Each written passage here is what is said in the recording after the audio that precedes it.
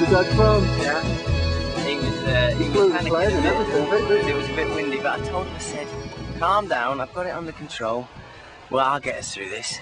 We did. We did, yeah, yeah, we're still alive.